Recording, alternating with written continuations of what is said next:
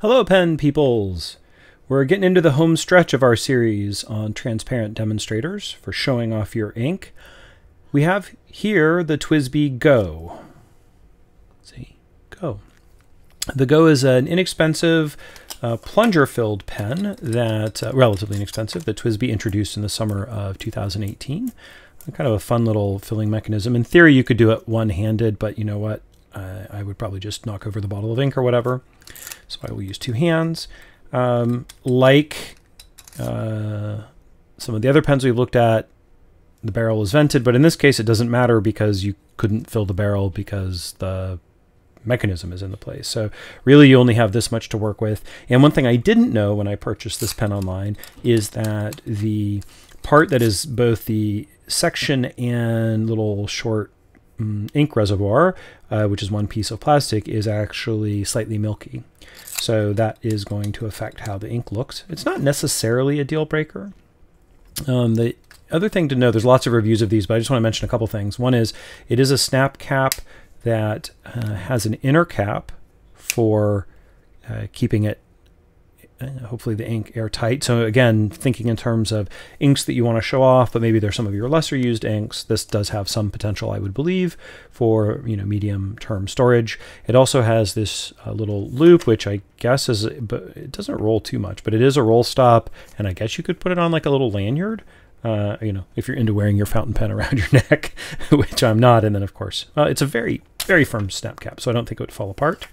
Uses the same style of nib as the Eco. I happen to get this one in, I believe, a fine. That looks like a fine, but I believe it comes in different widths, and of course you could get um, mix and match uh, with an Eco. And it looks like it's the same uh, feed assembly as well. Okay, so let's give this one a whirl and uh, see what it's like uh, with ink in it. I picked for this one a nice bright color.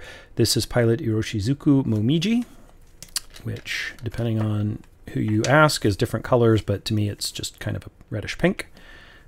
Okay, I've never used this pen before, so hopefully I'm doing this right. Schlurp. Oh, yeah. Okay, we got some ink in there. So I didn't get a great fill, but for the purposes of this exercise, it's fine. I could probably pump it up. Maybe I should pump it up one more time, just in fairness to the pen. Oh, maybe that just shot all the ink out. Okay, clearly I should not be allowed to use this pen.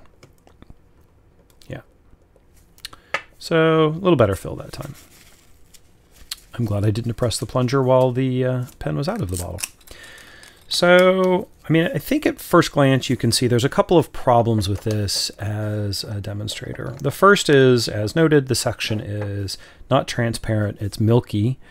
And the other is that a lot of the reservoir area, there are these threads that hold the barrel onto the combo uh, demonstrator and uh, sorry, combo uh, section and ink reservoir that actually block a lot of the view because um, although they are transparent plastic because they are threads they are not particularly see-through. So you can see the ink but you know momiji is a very bright ink. I mean see how vibrant it is just in this you know, glass bottle. So i don't know and it's also like you're looking at all these springs and everything. I don't know that this is a pen i would pick to show off my inks but let's see how it writes presumably it's going to write just like a yeah, feels pretty much like writing with a um, an eco. The section is feels a little fatter than an eco section. Maybe it's my imagination, and it's it's a very different shape than an eco section. Let me quickly pull out an eco to compare it to.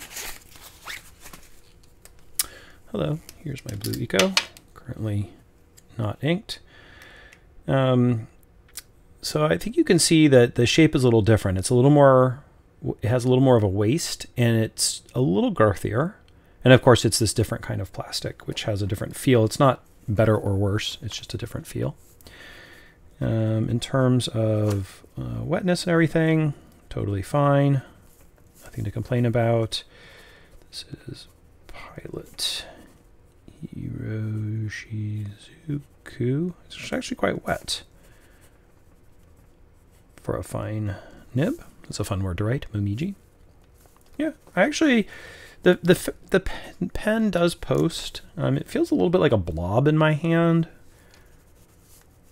but it's not terrible or anything. I just I feel like for the purposes of what we were trying to achieve in this series, it's just okay. because it's cloudy and you can't fill very much of the barrel.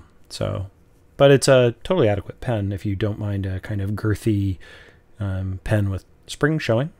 So that's been the TWSBI Go. Thanks for watching. We've just got a couple more pens to go, and then we'll be done with the series. Bye bye.